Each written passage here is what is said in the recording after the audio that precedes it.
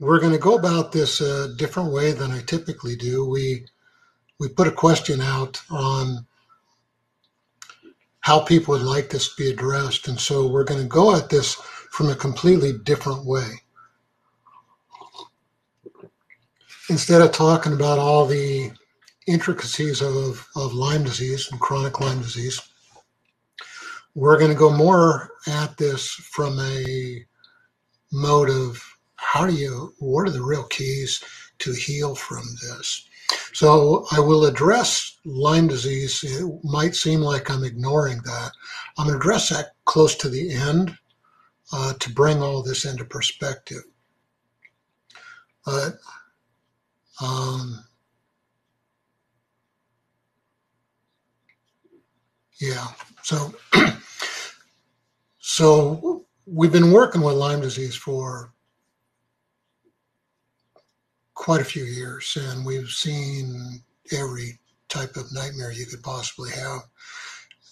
With the bulk of those people healing, and what we run it, what we found through the course of doing this, there are several different barriers that people have that they get hung up in where they can't heal. And the first one of those is is nutrition. There are several different aspects of nutrition that people have problems with. But we're going to approach nutrition. Actually, I'm, I'm trying to try and approach everything tonight from a very different perspective. So bear with me. It might seem a little odd at first, but I'm going to make it that way on purpose. Um, because we have to have a whole different understanding. With nutrition, uh, we, we really need to have a different concept of relating to our food. And with this, this is a picture of an atom right here. Most of us have seen pictures of atoms in school or other places. And seeing this picture reminds me of an opening lecture I had in, in graduate school where the microbiology teacher said 50% of what you're going to learn in the school is false information.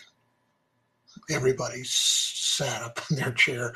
That really got me quite awake. And she said, The problem is, we're going to teach you everything that we know now to be true. The time's going to prove out that 50% of what we teach in the body of science is not going to be true. It's going to be up to you people to keep up with a body of scientific knowledge to really see what part is true and what part isn't. And in looking at that, I don't have the slide in here, but 40% of the world literature put out as far as scientific papers is falsified with what's called spin. In America, it's suspected that 70% of the scientific information in the most reputable journals and textbooks and all that is falsified. They have done studies to figure out uh, why that's falsified. 75% of the articles with spin on them is overt fraud. And that usually ties into somebody's getting paid under the table. And when we look at a study, it's really important when they're just saying what everybody expects them to say to find out who fund, funded that. So when we look at this picture of an atom, almost everything that I learned in chemistry and all that ends up being not true. So in graduate school levels of of chemistry, if what I found out is not true, what the common person has found out really isn't very true either. And it comes down to a point where when we look at quantum physics, and I'm a bit thirsty, so I'm going to have some tea. When we look at quantum physics, all the parts of an atom are made up of spins of light that ties us back into the beginning of time in Genesis with creation, where God spoke things into his existence. Part of his nature is light. He gave part of his nature to make things come together. And that light has these little spins in them that create an electromagnetic frequency. Um, we were always told the, the parts in the outer orbit of the atom were electrons, and those have a negative charge. Inside the nucleus is protons and neutrons. Protons have a positive charge. Neutrons are neutral. Well, it comes to to Baire, one of the contemporaries of Albert Einstein, uh, when Albert Einstein came up with a theory of relativity where E equals mc squared, which is with mass is actually part of light. Um, one of his contemporaries asked him, "So, what's that mean to the common person?" And Albert looked at him and said, "Well, that's for you to to figure out." And he he looks at chemistry at, at atoms like this as electromagnetic generators. And for nutrition, that's really key because the primary thing we get out of nutrition is energy. And these atoms are little electromagnetic generators. In a normal state, it's true, the, the, the things that orbit around the outside, those are electrons. But if it's a anion form, what the the the nucleus is negative and the shell is orbiting positive charges. So it, it took quite a bit for my head to wrap around that because it's so different from what I was taught. But when we when we look at the atoms, when they start to combine with other atoms, the normal um, uh, I just remember this. You can move me around your screen, and it's probably best to put me up in the upper right hand corner of the screen. Just grab your mouse and move, move my screen over there. When atoms combine, they make these hybrid orbits that aren't circles. They're like this. They're more like uh, teardrops. And in reality, the atom will come, it'll, or the, say the electron, it'll come, it'll spin, do a small spin over here as a recovery, come out over here, and then it will switch to the other atom, do a spin over here. And, and the, the point of that is, I guess you probably can't see my mouse on there. The point of that is we don't have these um, circular movements of, of the electromagnetic magnetic currents going across atoms. They become these teardrop things that share back and forth. And as they do that, it creates this pulsing and a vibration. That vibration of atoms is unique to not just not just something like water two atoms of hydrogen one of oxygen. But that water will have a different frequency in every unique species of every living thing on the face of the earth. And what, what changes that frequency, about 80% of that change happens in our liver and about 20% happens outside of that. The liver in a plant is down right below the roots and it does the same thing. So this thing of energy and this pulsation of energy is really, really key in understanding of nutrition if we're going to have a, a, proper understanding of it. So we take this and we start to look at something like a protein. Protein is this convoluted, there's certainly a sequence of atoms in a specific order. And that'll be the case in every species that's out there but how it folds and how it bends and the frequency in which it vibrates is unique to every single species. This formation, uh, putting together, and the bending of it and the vibration 80% of that happens inside the liver. When we look at it more of a graphic form, the last one was electron uh, micron scope view of it, if we look at more of a graphic form, we can see that every one of these circles and curls and things that look like ribbons is going to be moving at a unique rate to every unique species. And the reason why this is important is because we can only assemble the proper proteins and oils for that matter. We'll get into that in a little bit. We can only assemble the proper proper proteins if we have the proper building blocks. And those proper building blocks are going to be the foods that we eat. So when we start to look at some of that, this is a common thing that people eat in America, uh, pizza. The the proteins in that are going to be adulterated in a whole bunch of different ways. One, the crust is commonly not a whole grain. That's one thing. The meat that's on there, it's it's high fat. It's probably been fed in a feedlot, and that changes its its bending. It changed the frequency of it, and that will change what we are able to build.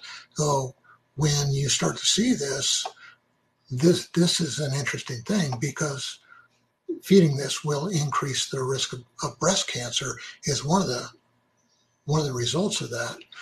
We make all of our protein inside of our cells, and what happens is the DNA inside of our cells it unwinds, it gets copied with messenger RNA, and um, this really ties into the COVID vaccination how this this works also. But um, it's it's copied as a mirror image by messenger RNA, that gets moved off into the ribosome where it's going to um, build new proteins.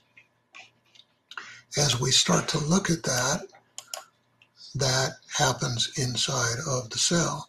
The DNA is inside the, the nucleus, and the ribosomes are just outside of the nucleus, and things are moved out into there.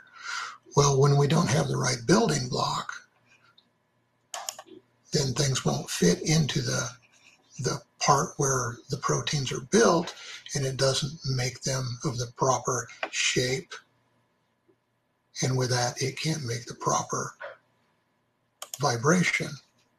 This is why Time magazine put an article why your DNA isn't your destiny. The DNA probably will keep the sequence always. But the shape in which it bends and the shape in which it vibrates can be distorted so much that it changes genetic expression. And that study of that is called epigenetics.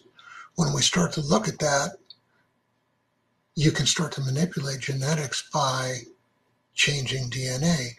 The way we eat has a significant effect on this, and it can change things very, very significantly.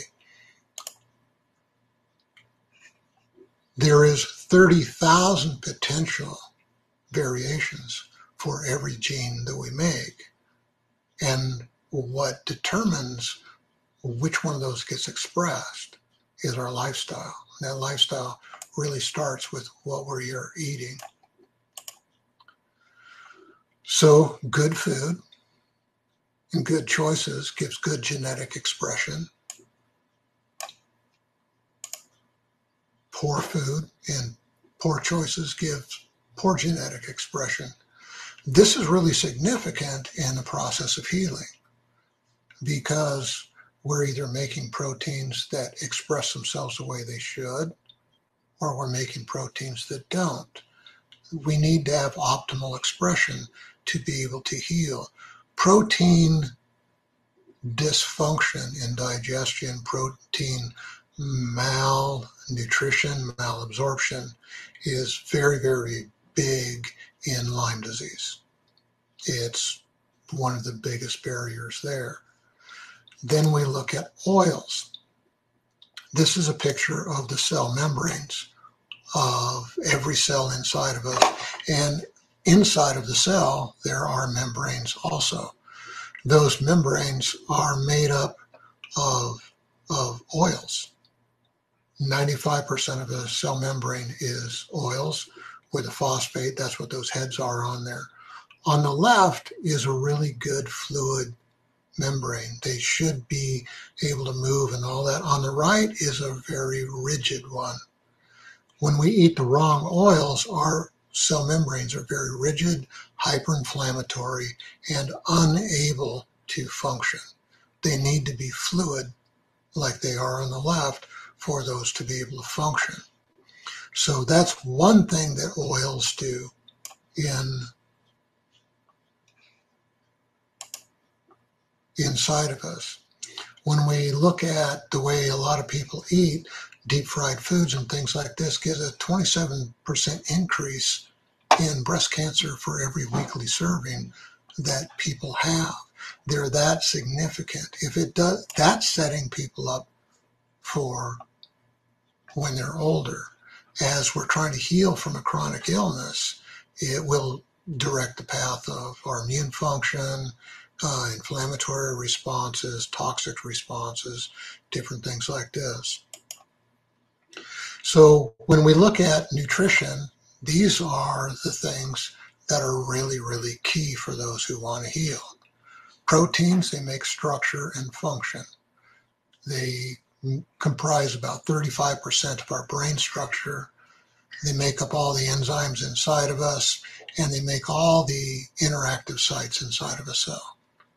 Oils are 95% of the cell membranes, 48% of the brain structure, and they're the building block of all of our hormones, determines the inflammatory state of the entire body. And when you look at people with Lyme disease, inflammation is a huge, huge issue. People are making big, huge words uh, about inflammation so they can yoke a lot of people in, but they're ignoring what's causing it, what's what's really the mechanism behind it, and you you can't resolve the inflammation until you can figure out what's going on with it. So carbs are fuel, they're energy. Complex carbs, those are healthy. Um, they're they're full of protein, full of fiber. The fiber slows the absorption. The protein helps normalize the blood sugars. Simple carbs are naked. Um, they absorb very rapidly and they cause extreme inflammatory responses along with hormonal dysregulation. Vitamins, they're part of every body process. That's a key part of, of enzymes. Minerals, those are coenzymes, they're part of every single body process also.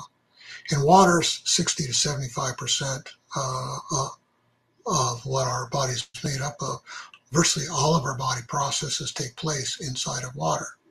So the water we take in is really key. Most people are on city water. City water has chlorine, a whole bunch of other things. Chlorine will destroy the gut wall and it it kills the bacteria inside of the gut, which is a key component of health. They were if you look out there, a lot of people are selling mineralized waters and all that. We can't absorb rock form minerals that are dissolved in water.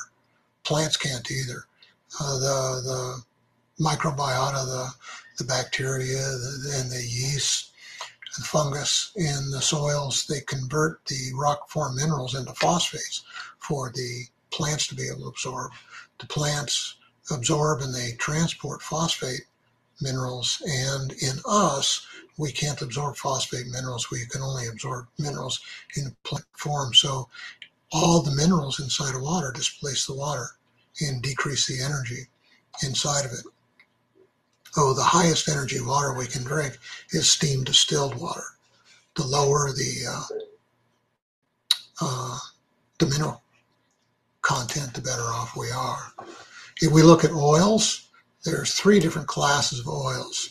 There's omega threes, sixes, and nines. The omega nines, those are those are animal fats or solid room temperature. That's where cholesterol comes from, and cholesterol is not a bad thing. It's a band aid. It's it's it's it's actually good. Uh, the omega threes, those are vegetable oils. Uh, alpha uh, linoleic acid that depletes one of your key um, fish oils, EPA. Arachidonic acid that creates inflammation and pain. When we get down to the omega-3 oils, those are fish and seed oils. A interesting thing about the uh, seed and the nut oils is those are in the GLA form. GLA converts into EPA at a 12 to 14 percent efficiency if you're healthy. Uh, if you're not healthy, it, it's less than that. Our oils need to go, be converted to EPA. EPA will convert into DHEA. DHA and EPA are the primary ones we use. DHA is really critical for brain nerve function, things like that. Those are anti inflammatory. So if people are trying to get their oils from seeds like flaxseed or or nuts, they're only at a maximum able to utilize 14% of those, which it's an 86% waste at a minimum of trying to do something. It's not an efficient way to do it. Um, the fish oils are what make the membranes of our cells real fluid and it also normalizes hormones. So this is a chart of different kinds of oils right in here. You'll notice that the fish oil is the only one that's 100% omega-3s. The, uh, there are a few plants that are really high in omega-3s. All those are considered weeds and not normally eaten in America. Um, purslane is one of the big ones. Flaxseed, as I said, it's a, it's it's estrogenic. It disrupts women's hormones as far as um, chronically ill people with Lyme disease. Uh, it, it's rare that anybody can tolerate flaxseed. Um, corn oil is toxic. It's full of all kinds of herbicides and pesticides. The peanut is one of the biggest allergenics oils that's out there. If we look at canola, it's generally toxic too. The only oils that really are worthwhile eating, especially if you're ill, is is fish oils. You can't cook with those. Um, extra virgin olive oil, Trader Joe's is the cheapest, cleanest extra virgin olive oil we know of. Some people can do safflower oil, and avocado oil can be fairly decent. So we go back to this, the oils are setting up an inflammatory response inside of us. And once we have a chronic illness, we can't handle the extra inflammatory issues going on. So that's part of the reason why this creates, sets people up to have cancer when they're older. So when we look at, at nutrition, there's a few principles to live by so that people can actually be healthy. Proteins, if we're doing animal proteins, they should be grass fed and grass finished. Uh, grass fed doesn't mean a lot. Grass finished means that they don't have grain. They weren't grain. Grain is typically toxic and it creates inflammatory fats in the meats. It disrupts their hormones. It disrupts the oil levels in them. Uh, grass fed meats have a high amount of fish oils or omega 3s in them, whereas grain fed don't. Um, other ways to get whole proteins is combining grains and legumes, grains and nuts, legumes and nuts, or three grains together. Um, complete um, proteins, if people want to be vegetarian, soy is an option. It should be fermented if you really want to use that. Mushrooms are complete proteins, buckwheat and quinoa. Quinoa should be organic. The non-organic, uh, we've had people have some real major hyperinflammatory problems with that. As far as carbs go, they should be whole foods only.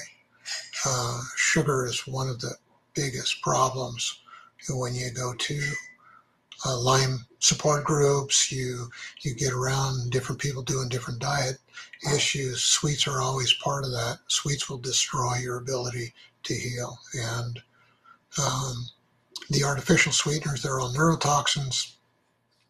The, the the substitute ones like stevia, stevia feeds pathological stuff inside of you. It's not good xylitol, most of that's made off of corn. It's toxic. It, it, it, you just can't get around it.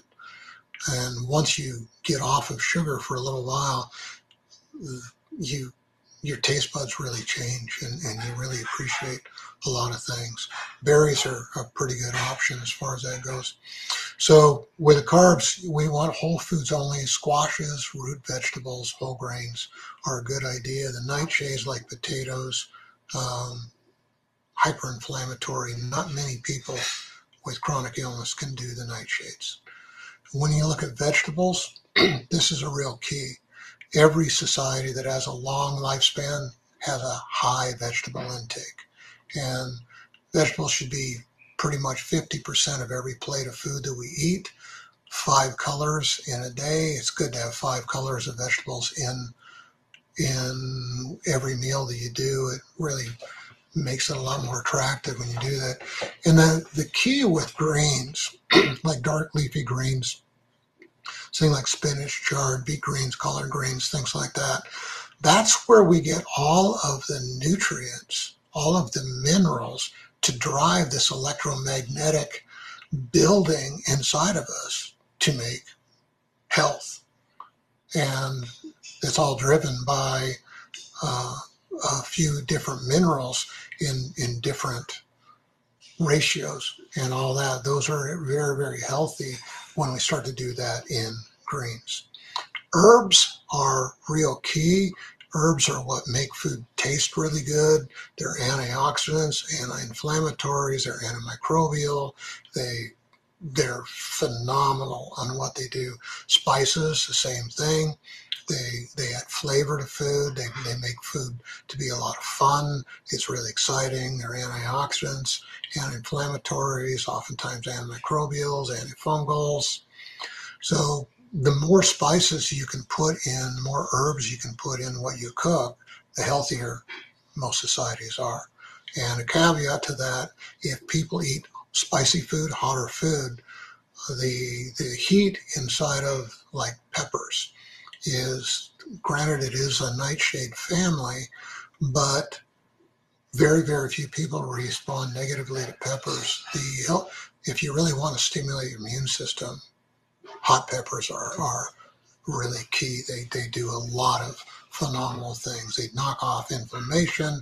They decrease pain levels.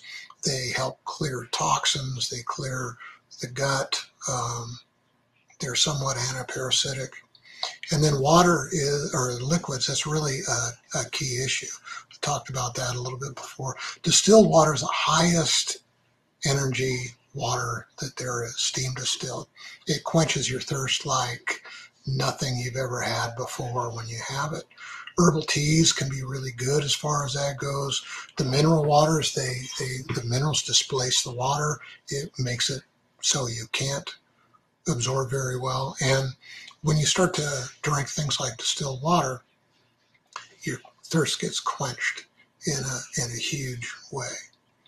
So, and coffee is one of the biggest beverages all over the world. The one thing with coffee and caffeine, coffee and caffeine beat up the adrenals. Everybody with Lyme disease, chronic Lyme especially, has adrenal issues. Their hormones are hormonal axis is going to be dysregulated in a huge way. So it's best to avoid caffeine, chocolate, coffee, things like that, till the adrenals are real healed up. And then we can oftentimes introduce that back in moderately.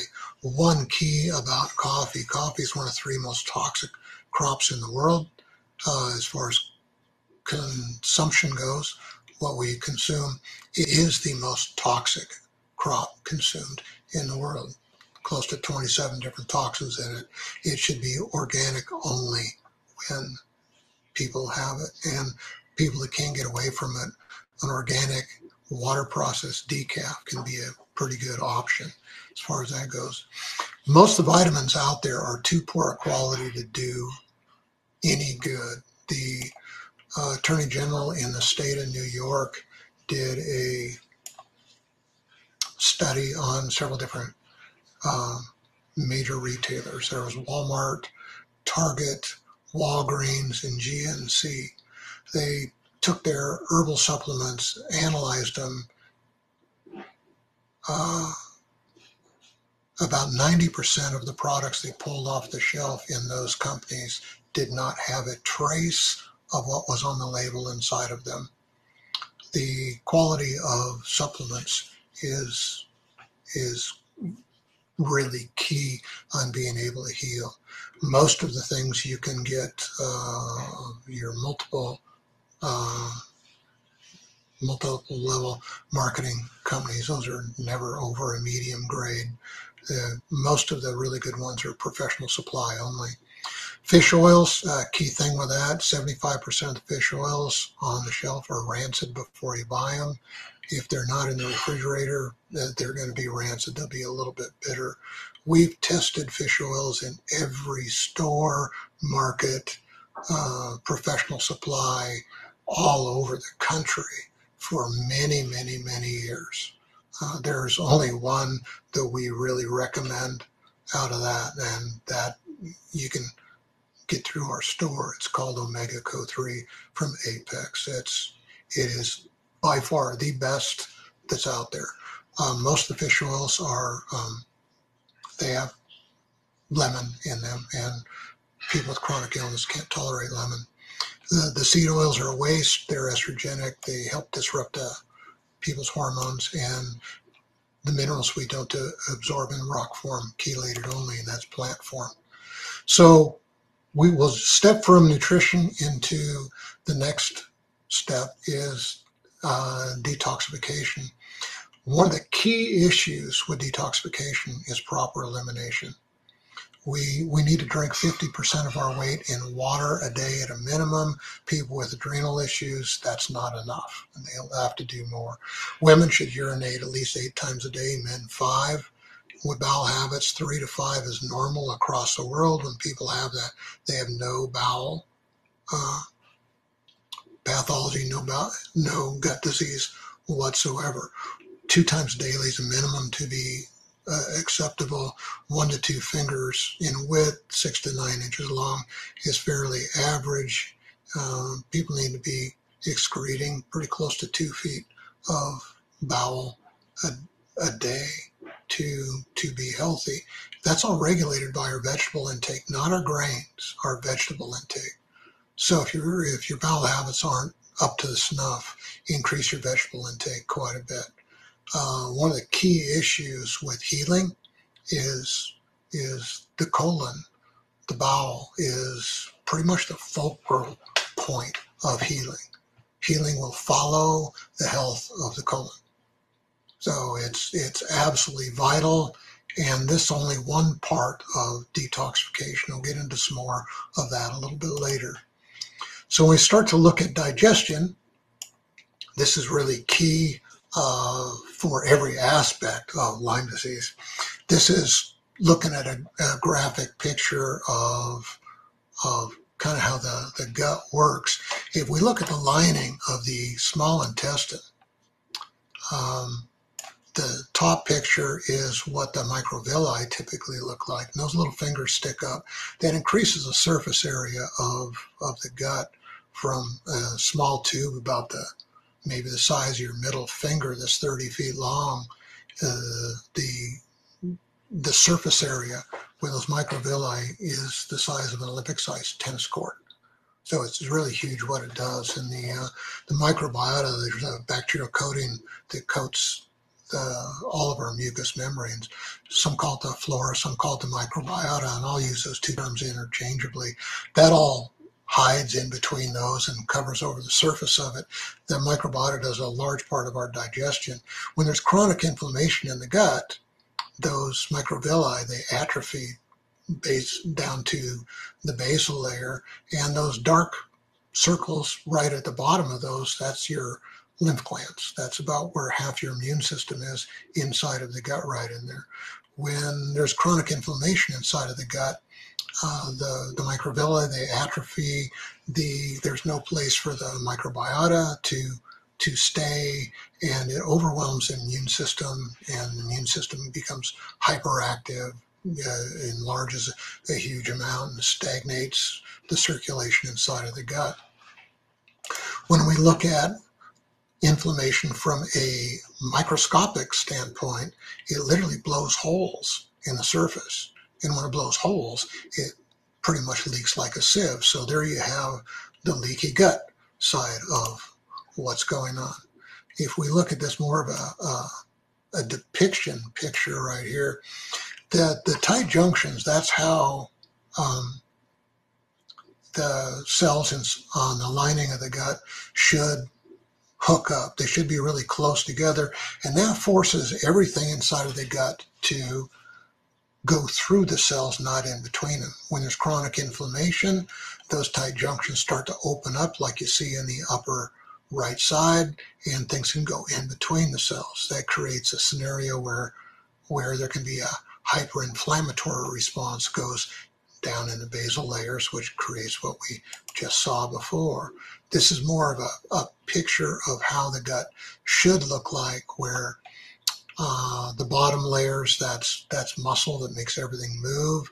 The middle layer, the submucosa, that's where the blood vessels, nerves, there's a whole nervous system inside of the gut, and all the lymphatic system is inside the, the submucosa. Mucosa is the lining right in there. When when there's chronic inflammatory responses inside of the gut, which most people with Lyme disease have that, those microvilli, all those fingers, they start to atrophy. The the mucosa uh, atrophies. The submucosa gets really really thick, and and it's it's just completely dysfunctional. One of the co-infections of Lyme disease, rickettsia, is a bacterial um, parasite, and that bacteria will go live inside of epithelium. Epithelium is what lines um, the our skin is epithelium. It, it's it's the lining of things. It typically the rickettsia typically go into the lining of the gut and the lining of the blood vessels, um, along with other things, and that that can be a, a really a huge factor. So when we look at proper digestion, there's a bunch of things that need to happen. We need to be quiet, at rest, and at peace the gut needs to be able to move freely. It's actually tied to a cord that's pretty close to behind your navel, and everything moves around that so it doesn't tie itself in knots like some other animals. Our horses are really bad as far as that goes. Um, some of the things that help keep things moving is exercise. Learn that with raising horses. And when they get colic, their gut starts to tie in a knot. You got to get them moving, or or they can die. Um, same thing with us. Abdominal breathing is a really big part of that. Food we need to chew to liquid. Um, I've been told that the average amount of times a person chews per bite is about four times when we're eating dinner tonight. I took a large bite of a stir fry and I counted, that I chewed 60 times before I had the whole thing swallowed. So that's like 15 times what, what the average is. But when we chew properly, it breaks the food up so it's easier to digest. And everybody with chronic illness is going to have digestive problems. There just are. It mixes the food with uh, saliva, which lubricates it.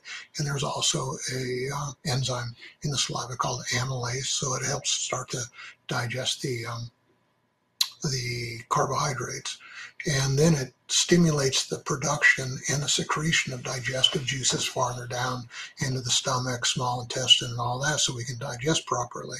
When we don't chew, those things don't happen. So, drinking smoothies, protein drinks, things like that, it bypasses the chewing issue, which doesn't turn on the digestive juices, and that creates an inflammatory issue. So, smoothies are a great thing. If people want to do that, they should chew just go through the motions of chewing to stimulate everything down below. The stomach, uh, it, in the stomach, uh, the food mixes with acid, and that's pro- proportional to the amount of protein and oils that go into the stomach.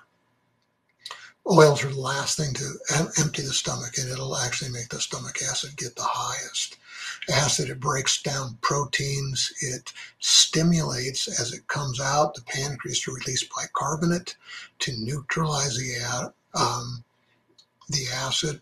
it also stimulates the upper part of the small intestine to release the hormones to start digestion. One of those hormones is cholecystokinin that tells the gallbladder to release bile if there's a lot of acid in it. It also tells the gut to start moving because there's more food coming into it. And that's where you start to get the urges to go to the bathroom. In the small intestine, uh, everything mixes with enzymes, bicarbonate, bile, and starts to digest. The, the microbiota do a large part of the digestion in the small intestine, a very large part. The mic- microbiota, the um, it's like fermenting anybody that lives on a farm, they'll do um, forget the word. They'll, they'll ferment a lot of the food supply for, for their animals. And that's what silos are all about. That increases the, uh, the protein content in the food because of all the microbiota that are there. And it partially digests it, so it makes it a lot easier. Um, the microbiota, it ferments food, that's adding protein. It also will add some aldehydes, and that can be a problem if the microbiota is not healthy. And the microbiota also make every hormone that we make in our body and every neurotransmitter that we make in our body. So the microbiota is really, really critical for people with chronic illness. When you start to see the brain fog that goes on, the hormonal dysfunction that's going on, it's it's a really, really big part of it. Um, and the microbiota, it communicates with the brain. It helps control the brain, and in that way, it helps direct every body function we have inside of us. The microvilli, those are the, on the surface that holds the microbiota. That's the place where nutrients are supposed to absorb. The colon is its job is to concentrate, absorb water, vitamins, and minerals. The key thing with all of this is in the microbiota that's in the colon, which is where most of it is. The microbiota in the colon determine whether we're going to excrete our toxins or recycle them, recirculate them, especially with hormones. So that, that's a that's a really really key issue. That's part of the reason why the colon is so crucial in uh, the ability to heal. So we look at another key component of digestion is the liver. That's also the detoxification gland.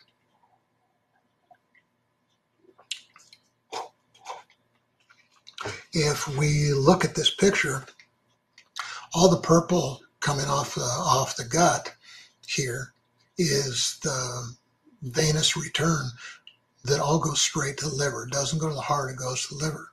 And there's a reason why why that's there. The liver has a bunch of really key jobs. It's supposed to catch and destroy bacteria and pathogens, store food sources, makes sugar from protein when we're stressed, clears the body of toxins, makes bile, and it assembles proteins. Well, there's ways where we can st- start to overwhelm that. If we look at Lyme disease, the number one therapy, uh, medical therapy for for addressing this is uh, doxycycline, which is a very, very strong, broad spectrum antibiotic. Nevena Zubcevik uh, the Lyme spokesman for Harvard, speaking at Martha's Vineyard Hospital a few years back, said some very, very key things. One of the key things that she she's a Lyme liaison for Harvard, so she goes around and trains people about Lyme disease. What she said about doxycycline is doxycycline does not kill Lyme disease. That's right. That's what Harvard says. It does not kill Lyme disease. They only hope to use it to keep it from multiplying. And whenever you threaten the, the Lyme bacteria, they're smart bacteria, they, they uh, go in defense mode, they interlace kind of like a, a, woven mat, leak out a substance and make a biofilm that antibiotics and the immune system is in, cannot penetrate. So when you understand that, it's it's an interesting thing uh, of the therapy, and and it sets up a risk factor for yeast infections. It's it's one of the most common common causes of it, and big pharma and the the powers to be have always known it's just a generally accepted risk factor of using it. Well, in a real bad case, actually, it's not a bad case. The um, the broad spectrum antibiotics, uh, a couple of doses can totally destroy the microbiota in the entire gut. Oh, I've been asked before, can you take flora and do antibiotics at the same time? No, it's it's it's pointless. You're just throwing money down the toilet.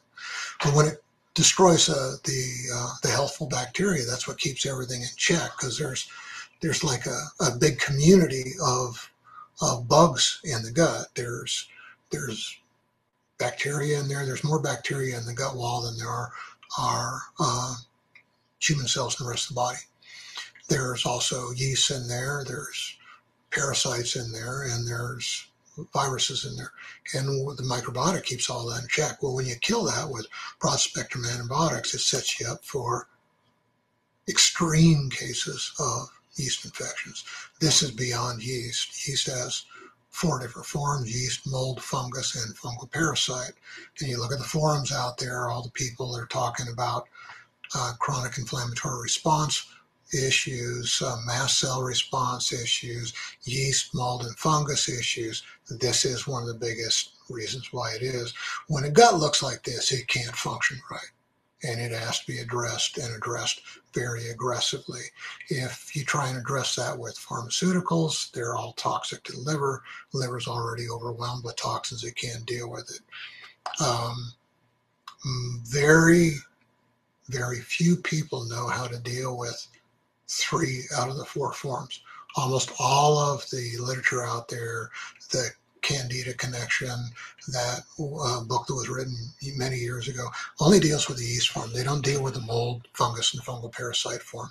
The fungal parasite form, that's when the uh, those little feeding tubules called mycelia start to penetrate the body cavity. So when you have had therapies like that, it makes the the gut lining go from what's on the left, nice and healthy, to what it is on the right, completely inflammatory. And we look again to see what the depiction of that looks like. Once again, on, on the outside, on the on the far left, you have tight junction between the, the cells that line the gut. Up in the top, you see these holes where these huge things are able to sneak through there. Well, the gut brain axis or gut brain connection, you have the same tight junctions in the blood vessels in the brain, and only supposed to let certain things into the brain. Whenever the gut leaks, within two hours, the brain will leak.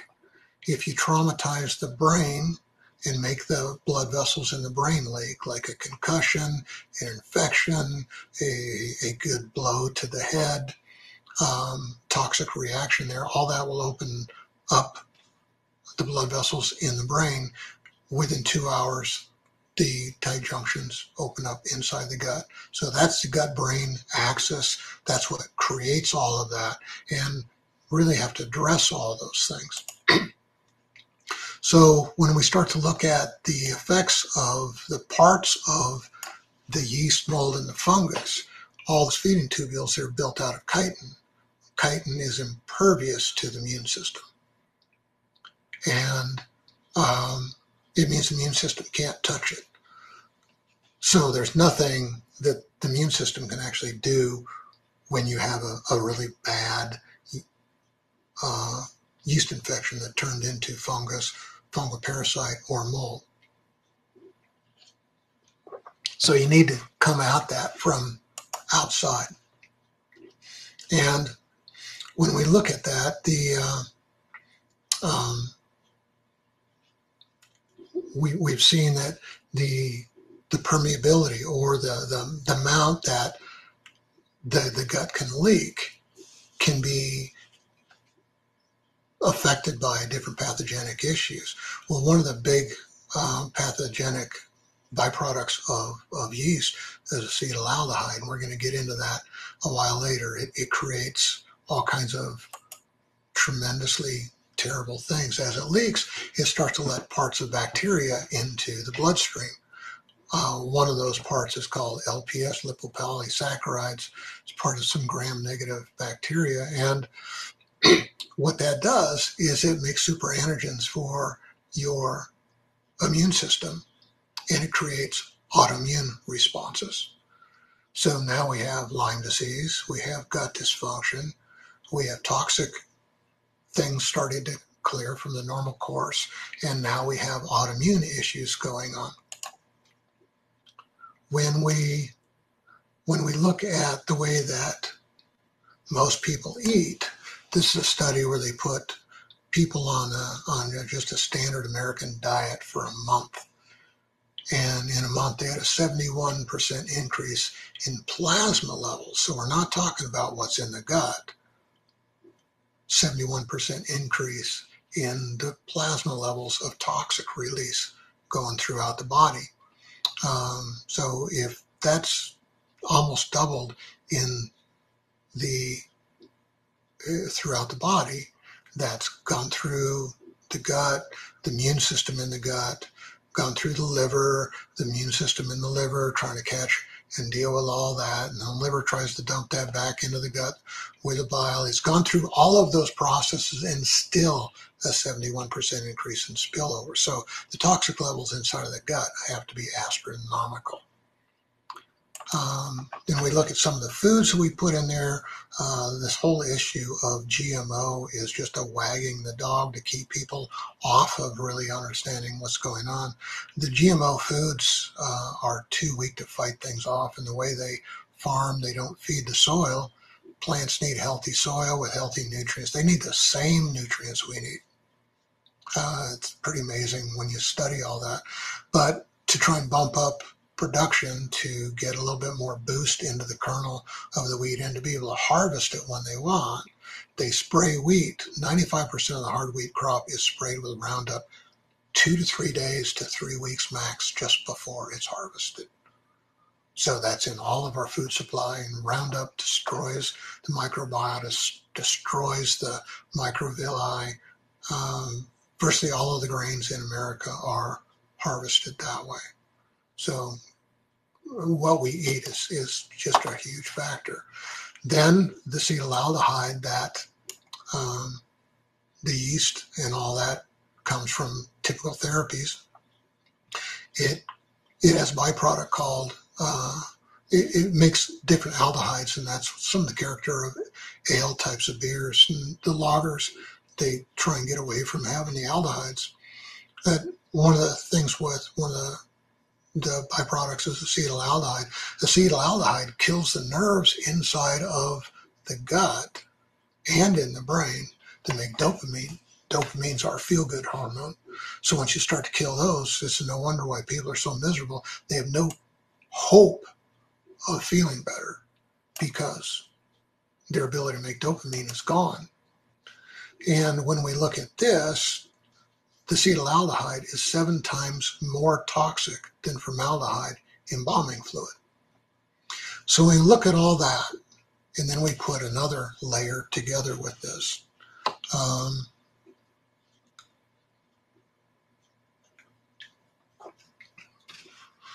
this is uh, this is the hormone function right here, and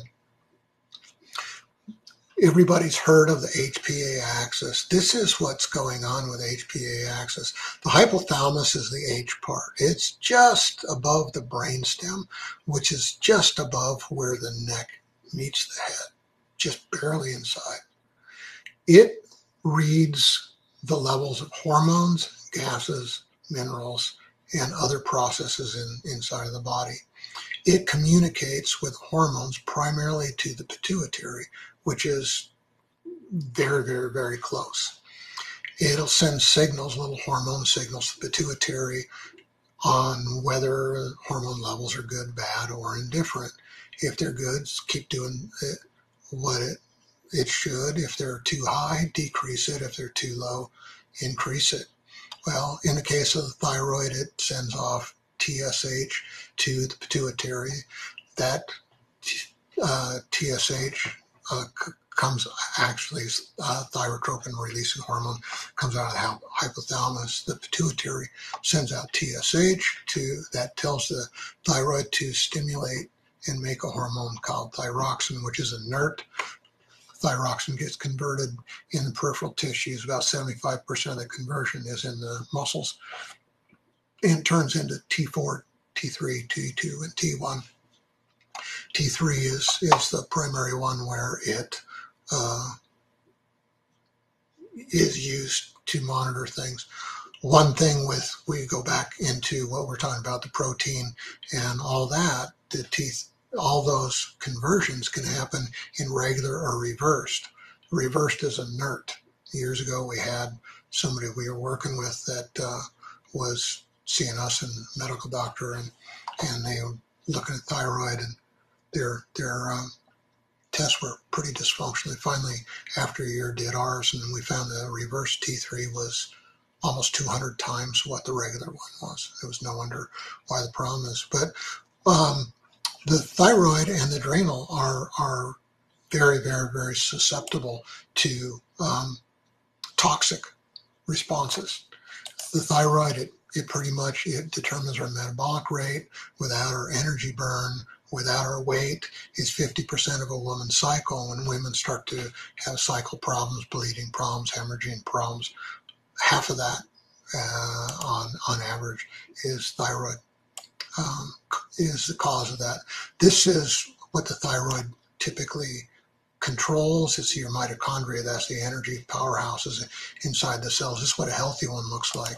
This is what one looks like when they're dying, when they've had too much toxic exposure. So mitochondrial support uh, is pretty dysfunctional unless you can find what the hormones are, what the toxins are, and start to clear them.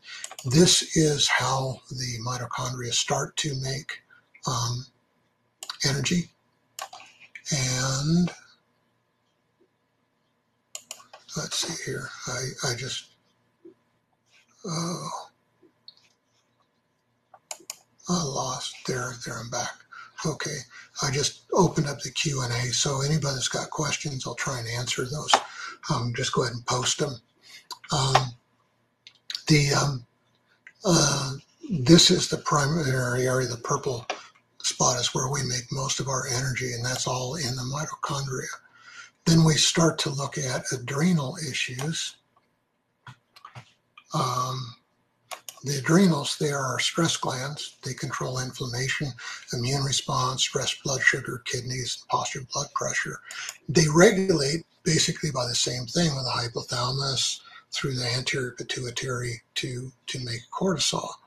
Well, when anybody's had chronic inflammatory issues, chronic illness issues, this dysregulation is going on, and the adrenals are putting out too much cortisol to begin with too much cortisol will make a man start to look like this. A classic issue of uh, the cortisol response, the fat starts to deposit in the visceral organs and makes a sagging, hanging abdomen like that. Man boobs are a huge part of that. When the adrenals are going wide open like that, there's something called a, a progesterone steal. And there's, uh, um, with the adrenals, uh, they, they make cortisol and they also make the precursors to our sex hormones. That's DHEA and pregnenolone. The in when we're functioning normally, about half goes to each side. Well, when we're in chronic inflammatory state or chronic alarm state, all of the the precursors to make our sexual hormones get shunted over to make cortisol. So we don't have very much precursors to make our sexual hormones at all. And when you add to that the increase in cortisol, that makes the blood sugar start to rise, tells the liver to convert the sugars into um, convert the amino acids into sugars to raise your blood sugar up so you can defend your life. That makes insulin rise. Well, when insulin starts to rise, in the presence of cortisol, it tells the fat to turn on a hormone. There's about 27 different hormones in fat.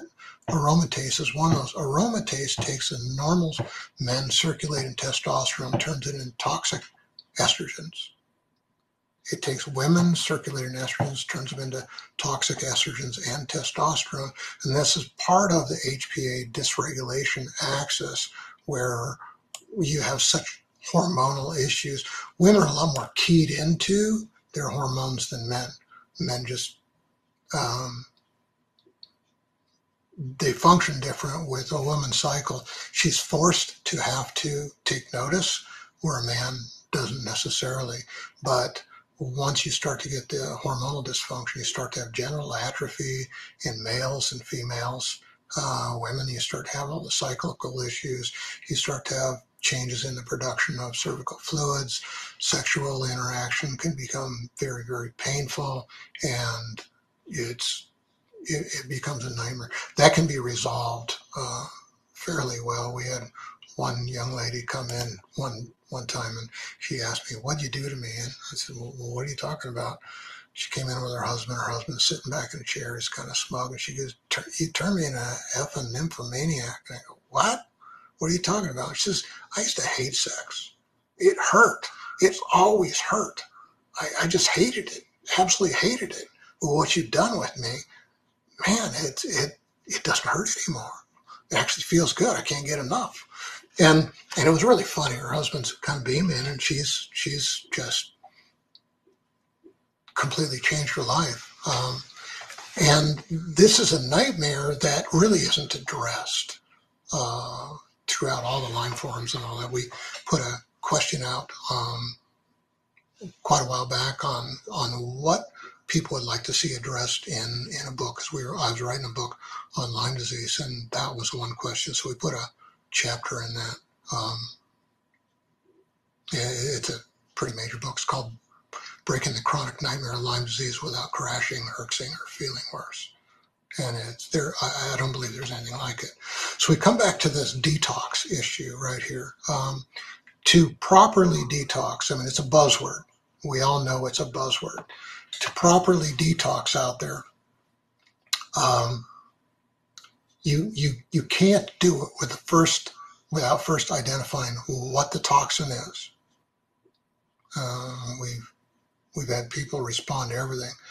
Um, we had somebody traveling that had major um, major response. They went to the gas station. Uh, somebody was pumping diesel in the pump next to him, and, and the person just had a total meltdown because that was one of the toxins that they were highly reactive to, and the person was driving didn't know that, and you know, had to sort that out on the road. It was it, it was a pretty major scene. You can't clear a toxin unless you know what it is. So all these um, promotions of of detox programs. Um, there, there is a good way to sell a gimmick, but it really doesn't do that much good. You have to uh, be able to identify what the toxin is, where is it deposited, what organ is it deposited in, what's the source, where did it come from, is it airborne, did it come through the lungs, is it foodborne, did it come through the gut, is it a response because the gut and the liver the detoxification pathways are plugged and it's making things worse. The phase one detoxification actually makes things more toxic. Phase two makes them excretable. So pathological detoxification is a elevated, uh, a very functional phase one and a very dysfunctional inhibited phase two. That's a pathological toxic um, detox pathway and and to try and run somebody through a tox detox program without addressing that could be uh, an absolute nightmare. Really, really could. The phase one detox that goes through the cytochrome P450 um, phase. The the interesting thing I found this in a minor article a while ago. The whole mechanism that our intestine absorbs nutrients through is the cytochrome P450 phase it's been long known that with pharmaceuticals, you got to really increase the dosage because it gets denatured in the gut. The reason why it gets denatured in the gut is because the cytochrome P450 in the gut is detoxifying the pharmaceutical when you bring it in. So that, that typically occurs in the gut and in the liver. Phase two, um, that's the conjugation. That's when something gets added to it so it becomes water soluble and excretable. That happens in the liver and the microbiota throughout the gut. So this is part of the way the microbiota determine whether we're going to excrete or recycle our hormones. And then the process is very nutrient dependent. Uh, it requires vitamins, minerals, oils, nutrients, proteins, um, are, are really, really critical, and those can change depending on which toxin it is and which tissue. And then if it's a tissue that's distant from the gut, uh, say it's in the brain with a with a foggy brain, then then you have to figure out what kind of substance will transport it, pull it out of the brain, and get it back to liver where it can be cleared. So we start to look at um, at addressing this. One of the issues with addressing an autoimmune process can be it can be fixed. It can be stopped by fixing the gut barrier. Which, when you fix the gut barrier, that also fixes the brain barrier, and along with all that, with with the gut barrier, you can't fix the gut barrier without addressing the microbiota. So we add to all this chronic Lyme last time I looked up, Borrelia is is the Lyme bacteria. There were at least 300 strains. Uh, I I could not find um, no no lab that knows what they are will even acknowledge to a doctor how many there are. You can't find out not through the CDC, not through the CDC's labs, not no place. Can't find out. If you don't know a good researcher that has inroads, you won't know. so there's at least 300 strains, 30,000 potential strains. Um, smart bacteria, once it gets inside, it can read your proteins and copy them within two hours. As soon as it copies your protein, your immune system recognizes it as you and leaves it alone. So when you look at you know, different approaches to trying to address Lyme disease, um, that's ignored. That's highly ignored. Anything that's going to stimulate the immune system uh, when a person is full of biofilms and colonies of bacteria hiding in biofilms that have read your protein, copied your protein to stimulate the immune system is going to do nothing. Absolutely nothing um, without addressing other things first. Babesia, it's probably the biggest co-infection. Uh, I'll, I'll make this statement: never seen a case of Lyme disease where Lyme was the only issue. And the real, real key with all it, why was the body too weak to fight things off in the first place? Because we're made in an amazing way, and we should um, um, we should be able to fight things off. I I, I just saw one uh, one question in there. Um, I'll get to that in just a minute. The uh, the babesia is a parasite that climbs inside of red red blood cells and it eats them from the inside out, creates anemia. It's all these things are really impossible to diagnose. The the accuracy of the labs they used to post these, IGeneX used to post this many years ago. Uh, it was zero to 20% if you did the test within the first one to two weeks. And that's pretty much the case of all of these different infections. So it's, it's you'll catch it with some different shapes and sizes of, of blood cells on blood smear, and that's about as good as, as you'll do. There's other ways to test it, and we, we use other other means. Rickettsia, as I said before, that's a bacterial parasite that climbs inside the linings of your blood vessels, your gut, all of that, and disrupts everything. When it disrupts the lining of your blood vessels, the uh, the cells they tumble instead of just slide down, and it creates can really become a, a real nightmare, along with creating all inflammatory issues in the uh, in the gut and making the leak worse. Ehrlichia, it's a bacterial parasite that invades your immune cells and disables those so they can't function. That's pretty interesting that a bacteria can climb inside of our immune system and disable it, but that's pretty common. Viruses, there's multiple strains out there. Uh, they all weaken the immune system and, and other functions. Then we had parasites on top of that, Bartonella. There's a lot of press about Bartonella. It's not nearly as common as what people are led to believe. Um, it seems to be more of a marketing thing, and it doesn't appear that its transfer is the same way. It's it's a lot like trichomonas, which is considered a um, a venereal disease. The most common carrier trichomonas is cats. Bartonella is the same thing. The most common carrier is cats. Anaplasmosis is a class of reaction that creates granulomas uh, reactions to them. And uh, there's worms with those, H. pylori, Giardia. There, the list is endless that really needs to be assessed to be able to go forward with things like this. When we look at the, the tests, the Western blots, the biggest test that's out there, it's promoted as be 0 to 20% accurate. It's the longest test out there, six to eight weeks of any kind of accuracy. Tom Grier, one of the premier Lyme researchers in the world, cites some studies where they did blood draws, 517 blood draws on people, and um, they sent those. They took three blood samples from everybody, sent them to different labs. They labeled them really careful, tracked where they went. Sometimes one lab would get three samples, sometimes three labs would get one sample. Out of the 517 blood samples, no two results were the same. Tom Grier says that that's just an outrage. It should be outlawed. So when we look at the key to healing,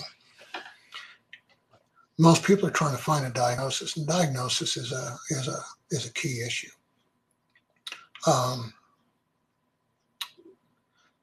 but if if the the direction of care is going to go off a diagnosis, all people are going to get is a protocol. Diagnosis leads to a manual. Manual tells you how to address things, and those addressings always have complications. It compartmentalizes and leaves out key issues, and that's why people aren't getting better.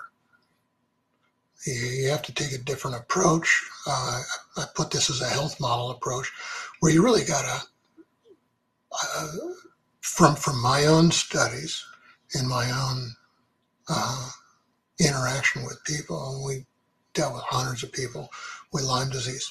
Um, why they got sick in the first place is real key. And as far as the tick goes, you can forget that. The, the literature shows it's in two to three percent of the blood supply in Minnesota and Wisconsin. It's in the sexual fluids in men and women. It's transferred by mosquitoes, spiders, um, gnats, deer flies, anything that bites can transfer it. Anything that transfers fluid from one living organism to another can transfer all of these. So the tick really isn't an issue. It's not at all. Uh, we had one guy come in who bit bit by a deer fly. Second time got Lyme disease for the second time. Went to the hospital. He told me he was nuts. He went back to urgent care told uh, the nurse, and she goes, Well, if that's true, you're only the fifth one this week from a deer fly. And he, he, he killed the deer fly and he brought the deer fly with him. So you got to address all of these factors I'm talking about at the same time. You can't compartmentalize them. People just can't heal that way. You can't trickle in and do this, that, or the other thing. You have to deal with them all at the same time. So you got to deal with the gut, nutrition, find out food intolerances, what the microbiota is, what needs to be healed. The colon center healing, it's critical to get elimination going. Uh, earlier the better and deal with, with everything. Liver, it has to function properly. It's very nutrient dependent, uh, mineral dependent, and that's a key for toxic clearance, immune function, and all that. Um, Hormones, the dysregulated hormones, they're reacting. They're not a primary issue. You can't throw hormones at hormone dysfunction and expect anything. You got to clear out the reason why they are not um, regulated properly. The brain axis, which which is leaking first? Uh, is is there infection up in the brain? Um, that that's really key. The detox is a secondary issue. Also, you've got to figure out what, where, when, why, how, what's clogging it before you can really detox. Immune, it's also a secondary issue. And uh, why somebody's too weak to to be able to fight this off in the first place. And then you, after that, then you can start to look at all the infective issues.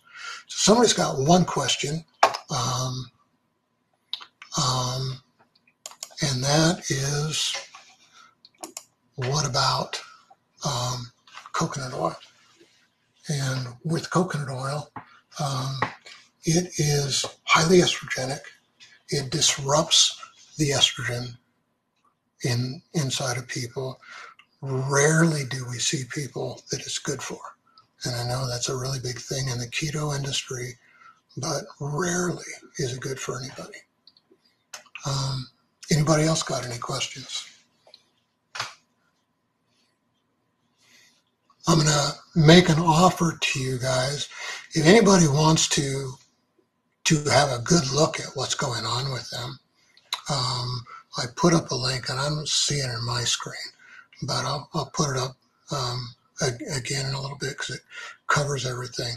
If um, if anybody wants to have a really good look at what's going on with them, I'm going to make an offer that they can go to our website on the Ready to Talk page and fill out the paperwork. The more detail you give me, the, the better it is. I'll give them a free consultation on that. Uh, that'll last. I'll, I'll, I'll, let that hold for for just a little while. Um, normally, mm, I charge for those, and but just for people who, who attended, I'm going to give that offer, and that offer should be up, but on my screen I don't see it.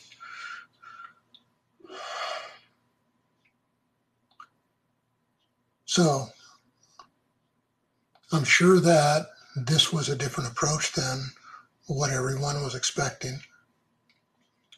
But it really deals head on with all of the issues that need to be dealt with. And as I said before, the only way to really heal from this is to address all these. Uh, looking out at other people when I, you know, I studying diagnostic issues, how, how you can really figure out what's going on with Lyme disease. Got a hold of some of the best docs, um, some of the biggest names out there. Got a hold of their test kits, uh, their treatment regimens, and all that. And most of them were junk. Ended up throwing them all away. They were they were totally worthless. We had to come up with pretty much our own thing on how to address this. And when you talk to people, uh, talk to doctors that work with Lyme disease, they all skirt around issues of what, how long, what, what's the expectations. Uh, we're pretty open with what we see. We have over a 90% restoration to health of the people we work with. And of the people who follow what I have them do, they all get better. They all get healthy. And I, I don't think there's another doc out there that can honestly say that. And I'm not saying that because they went through and we have a graduation day and they, they hit graduation day and that's when they're, they're found to be clean that graduation day, that remains years down the road.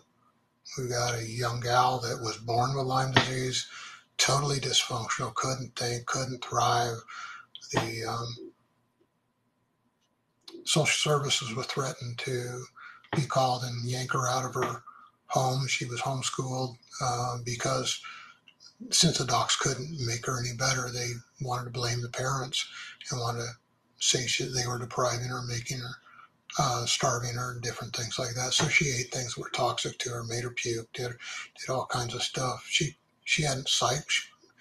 Yeah, she hadn't cycled for for over a year when she came in to us. She was, I think, 17 and 98 pounds, skinny as a rail. And when, when she started to heal, she's kept asking me, so what am I going to look like when I'm when I'm done with this, said, we have no idea. Um, you can look like you're supposed to because your body's starting to heal, starting to normalize. But what that normal is, no one's known because you've never been healthy. And Um, and she healed up. She headed off halfway across the country to go to college. Met a pretty neat young man, got engaged, got married, and they a couple of years down the road, they're one of the happiest married couples we know of. And um, and she she just posted her celebration of her sixth year of being healed from Lyme disease. So that's really common with us. People ask, so how long does it take to um, uh, start to feel any different? And honestly, that can be days. Some people, it's literally less than a week. Most people are starting to be feel significantly different within a couple of weeks with working with us. So, so that's huge. That's really, really huge. I, I don't know anybody else can really honestly say that.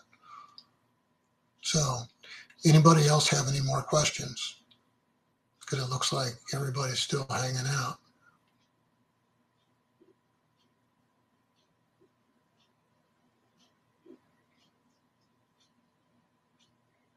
Don't don't be afraid to throw one out. Um, we've got a, a, a, pretty deep resource of, of, all kinds of different answers, so it really doesn't. Um, it's a good time to get them answered now.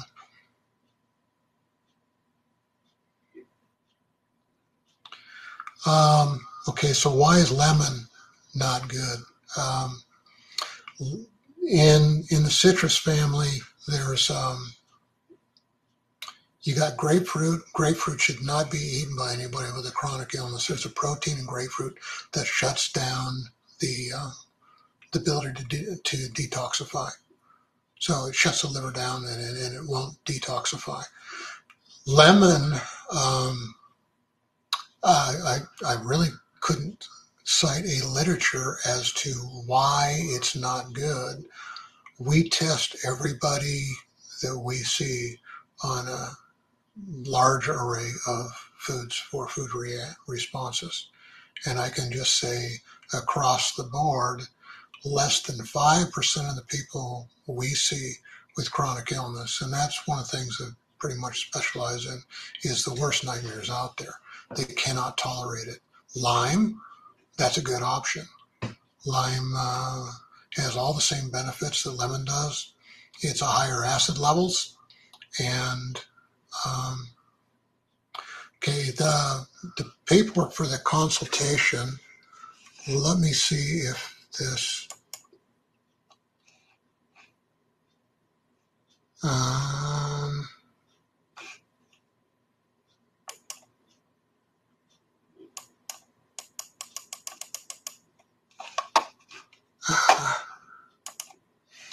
it's not going to come up. And I apologize to that. Let me see if, okay, I'll put it here.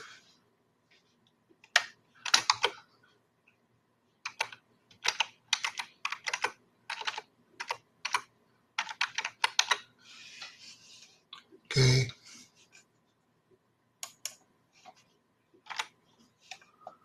This is our website. And you go to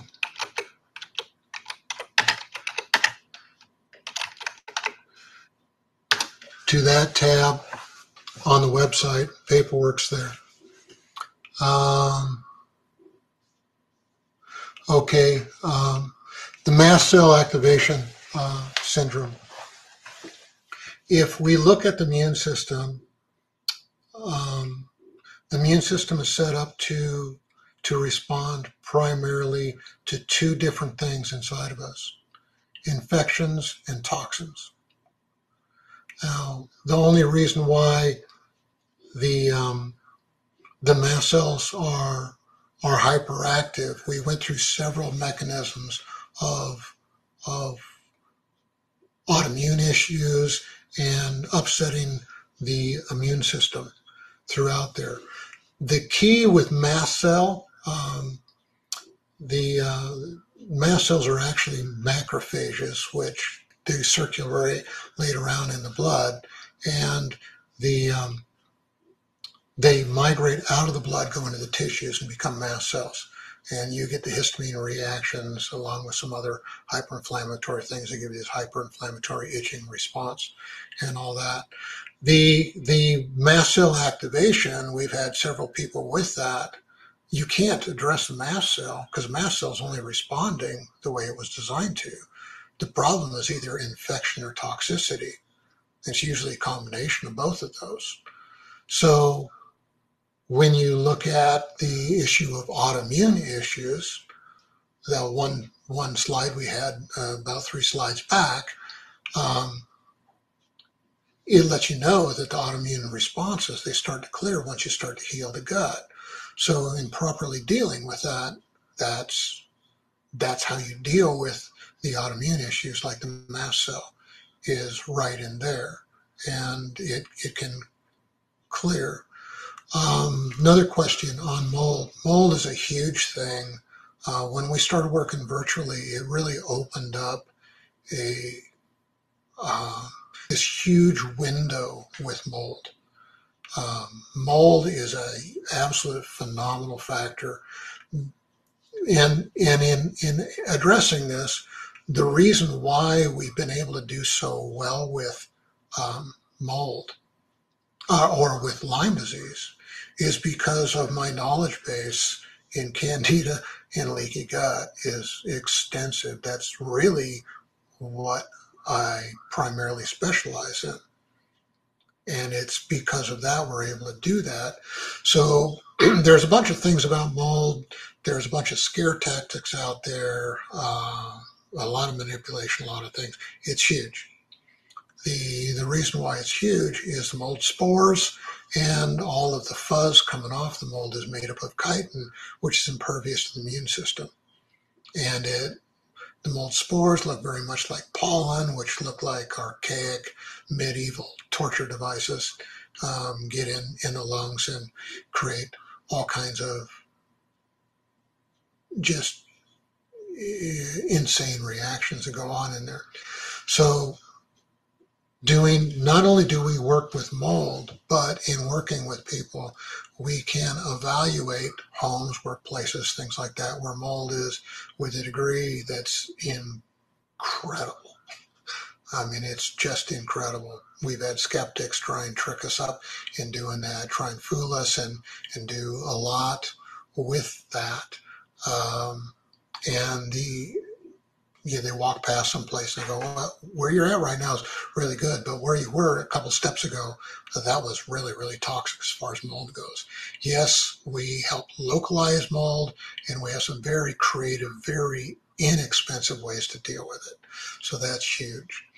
Um, as far as the heavy metal toxicity and all that, um, one of the big things with heavy metal toxicity is the yeast mold and fungus, fungal parasite, all feed off of heavy metals and they bring heavy metals with them.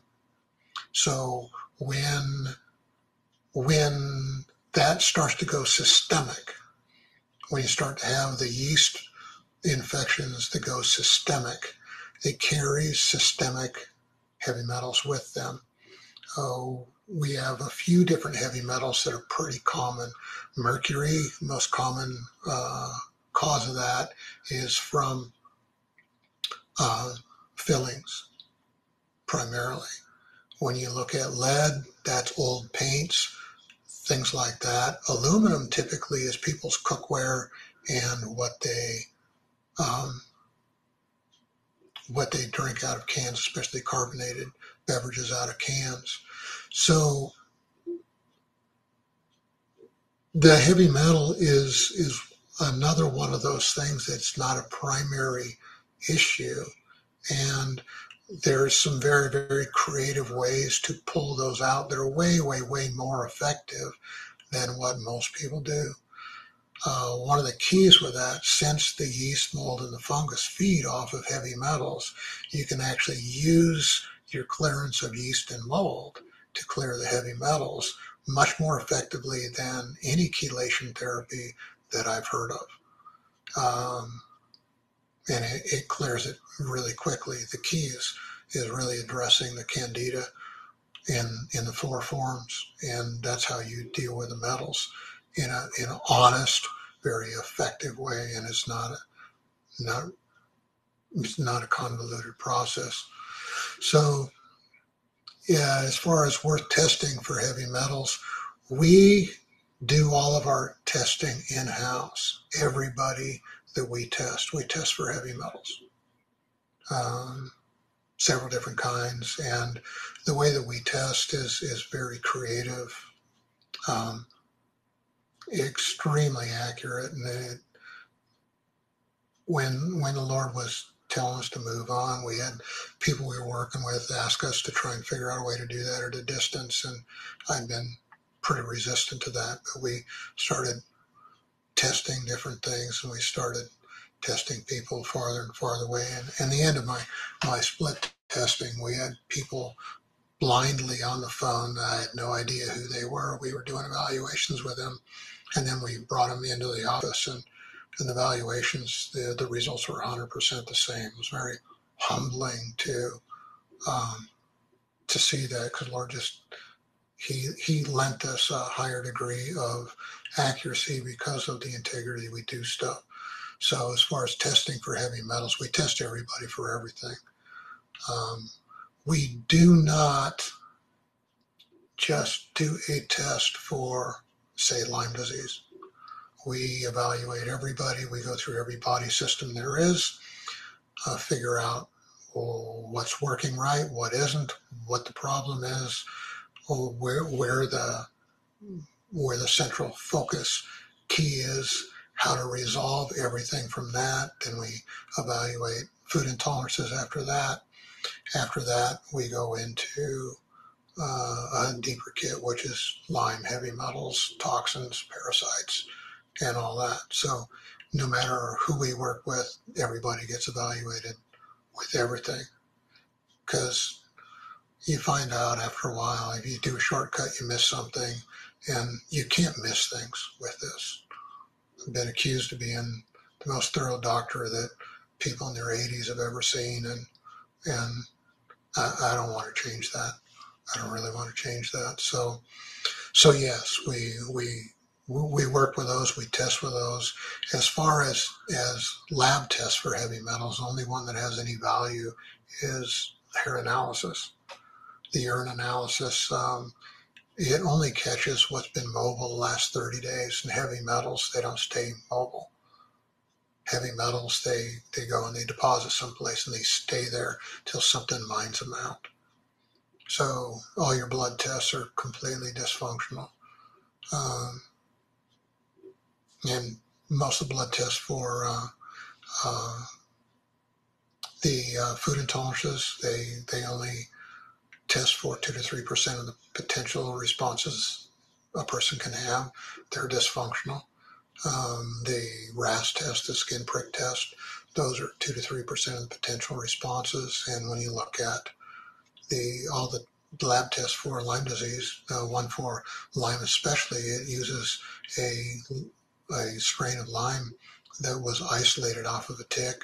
They never knew if it was in a human whatsoever and all the tests run off of that.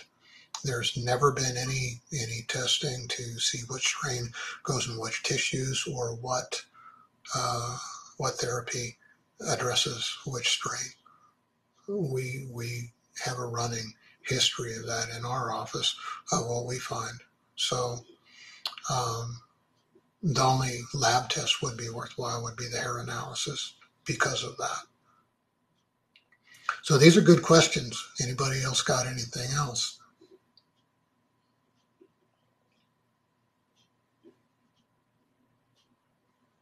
I'll be quiet for a minute, and see if anybody else comes up, and if not, then we'll we'll close this off. But you know, I, I really encourage you to uh, to go to the website and pull up the paperwork. As I said, the um, the more detail you can give me, um, the better our consultation will be.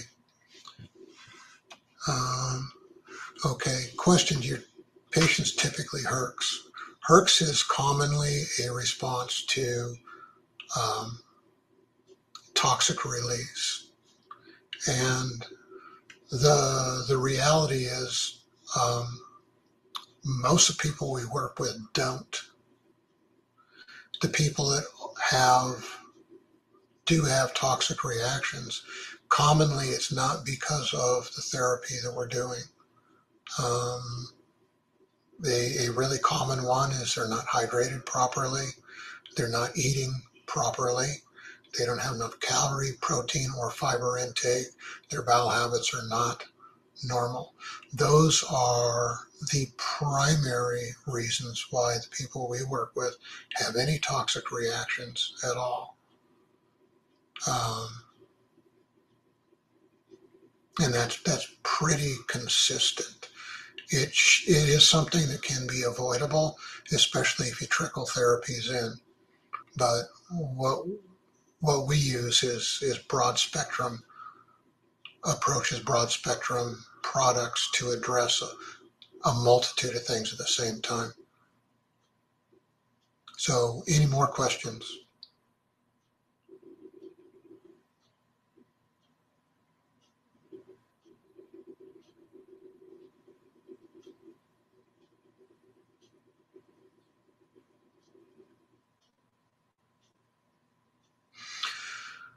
All right, looks like uh, oh, somebody's putting something up. So we'll see what this has to say.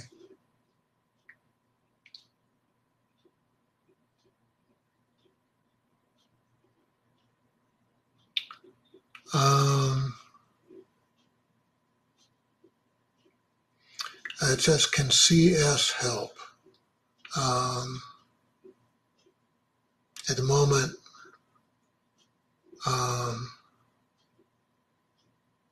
I don't remember what CS is. Can you clarify what that is for me? And then I can tell you. I don't remember every acronym that's out there. I, I'm a, oh, colloidal silver. Oh, good, good. I have put the highest quality colloidal silver in my test kit. I couldn't count how many times I put it in just to visit it afresh and see how well that stuff works. Um, I've never found it effective enough to keep it in my test kit. You know, bring it back when when it comes up, but it's not nearly as effective as the literature has out there. We test the effect of everything. And colloidal silver, for what's going on with this, it's just not powerful enough to to really do what people would hope it would do. In fact, most of the therapies that are out there that have a name on them are somebody's protocol, somebody's guesswork, and when we test them, they they just don't work. Just don't work. Um, somebody asked how often do people have appointments with us? Typically, for the first month, it's weekly. Um, as um, uh, yeah, it's pretty common for people to say come back in a month. The the I'm a physiology guy, which that that means I study the way things work and I work with people with that. There are so many changes that go on inside of somebody with uh, with chronic illness. Um, I mean, chronic illness it has, has four different factors to it. It's not self-limiting. That means it's not like a cold that just goes away. Um, it gets worse over time. Uh, it involves multiple body systems with it. And one of the key issues with all that is the original cause of what started everything may not be there by the time you see it. So the, the amount of changes that are going on physiologically, uh, you can't keep up with somebody uh, with with the response that's going on with a chronic illness. If you're doing something healing, and you see them in a month, uh, everything in their world could change in a month. That's just not adequate. It, it's got to be weekly for for a month, and as they start to stabilize, then that stretches out. So, um, I think that answers that question. That, and that's a really good question. Um, people are seeing people in a month, they're guessing. We don't guess. We test everything and we know exactly what's going on. So, any other questions?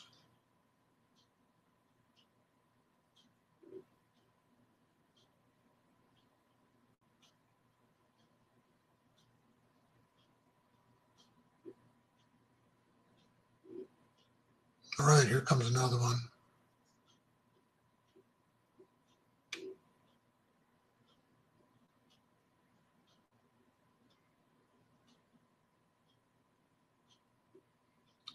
Okay, good. Says thank you. All right, well, I guess we'll sign off. Um, for those of you who are still on, I, I really encourage you to um, um, go to our website. It, it's up above in the chat and um, fill out your paperwork. There's a dietary diary in there. It's, it's key. Um, diet's really, really huge. And you there's there's there's a timeline of what's gone on with you and and parents before you. All those things are really vital factors. The more information you can give, the more specific we can be about what's going on with you. So we'll leave it at that. And thanks everybody for attending. Um, yeah, thank you. Everybody have a good night.